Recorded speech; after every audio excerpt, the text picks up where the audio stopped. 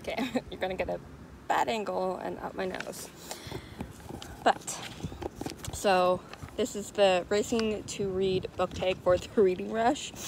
Um, so, first one, warm up a book that stretches your mind. Any book that relates to candle magic for me. Because that's what I kind of like want to focus on in my practice. So any anything relating to like candles or candle magic. Uh, start line, what's a book that you started but never finished? This is going to sound really stupid um, once I explain it, but it's called Winnie's Great War. It's a kid's um, chapter book, like grade 5, 6 or whatever. and like it's the story of the bear cub uh, Winnipeg or Winnie for short becoming the bear that we know of like Winnie the Pooh. but when I bought it, I got like up to 40 pages, I don't know. And it's like 100, less than 150 pages book. But haven't finished it yet. Um, Sprint, a book you've read really quickly. City of Heavenly Fire, I read within like a day, day and a half. And that's a big, chunky book. Um, marathon favorite large book right now it's City City of Heavenly Fire. So I don't read many large books, and the um, few like larger books in the Shadow Hunter world are the only ones that I've read that are larger books that I can remember. Um, Hurdles, what's a book that had ups and downs?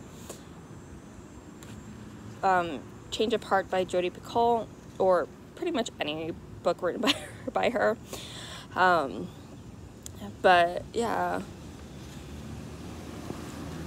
for that's the first one that came to my mind. But any of her books have like good slash bad up, ups and downs and stuff. um, my sister's keeper, um, keeping faith. Um, but yeah. Finish Line, a book you were proud to finish, The Ludwig Conspiracy, or was it The Secret Crown? One of them relating to Ludwig, but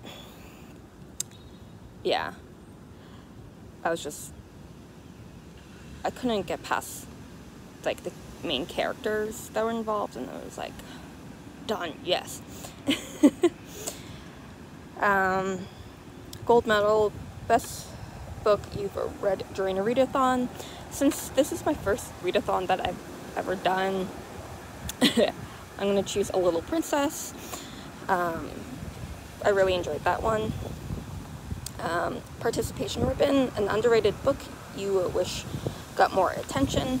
Since I stick more into like the pagan community and don't really watch other um, book review channels, I could be wrong on these, but um, a little princess, um, like before.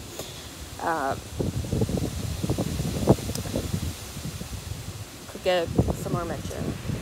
Um, the Witch Season um, series by Jeff Mariotte and um, Cate Tiernan, Tiernan, Tiernan books like um, the one series that she has like